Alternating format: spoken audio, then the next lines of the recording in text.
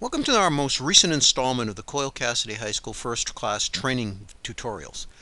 This tutorial was created in response to a complaint I'm getting from a large number of faculty. It seems to be a common question is to why is it there are so darn many places to look and I can't stand it. I never know where to look. All right, I think that's basically a communication problem that I've had, but it's also a lack of understanding of what first class really is.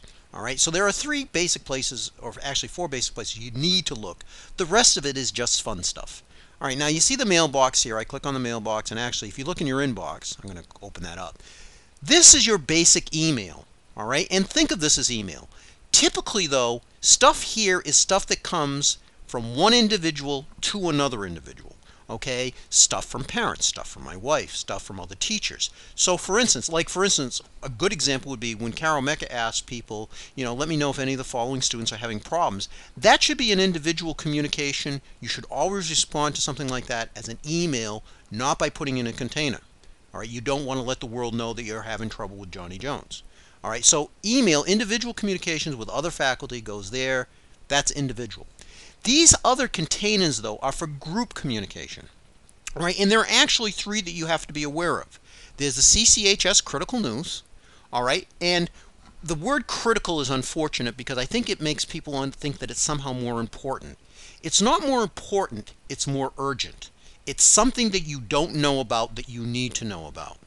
All right. For example, when the Haitian relief thing happened, Mary Pat put something up because it was something new out of the ordinary and she needed to let everybody know about it.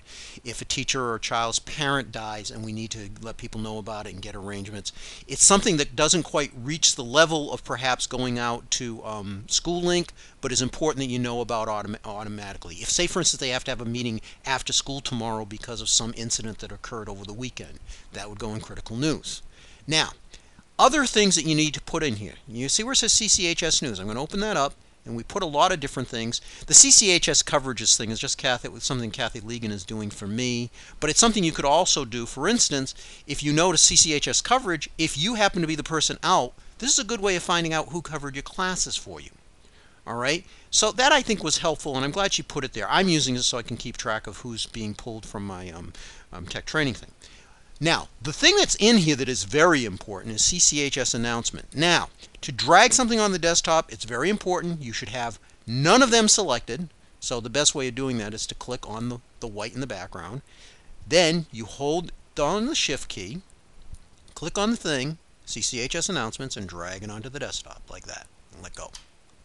All right, now that will be things that are important announcements that come from the administration but are not necessarily things you weren't expecting. For example, pink slips will be due on February blah blah blah blah blah. Or vacation is going to be this and such a day, please have all you this in. All right, those are the kinds of things, administrative kind of details that people need to know about. All right, and that's important. That is also something, if a little red flag shows up there, you want to check it.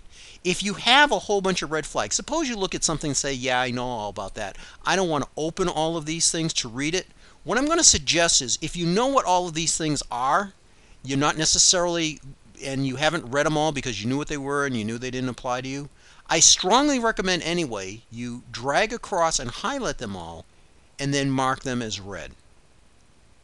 Okay? And the reason I suggest that is so that you'll be notified when something new comes into this. Okay? Now finally, the final thing that you always want to check is in the CCHS teaches container, and it's this one that's indicated as CCHS resources. Now again, you deselect, you click shift, you click on it, and I'm going to drag it onto my desktop and let it go. All right.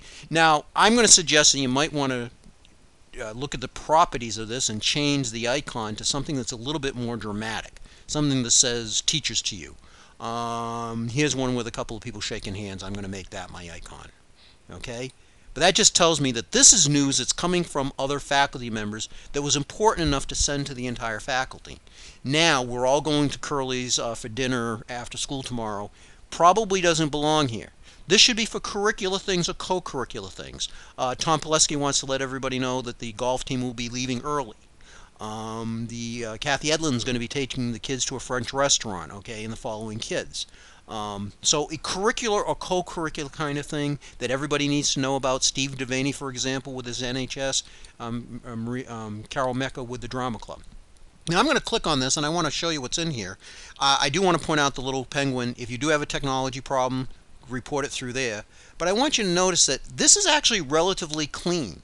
The reason is, is I've asked people to go in and once something becomes old, you should delete it.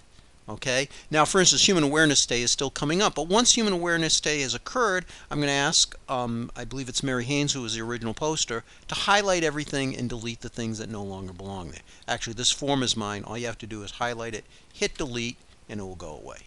All right, you can delete your own things, but you can't get rid of stuff that other people have.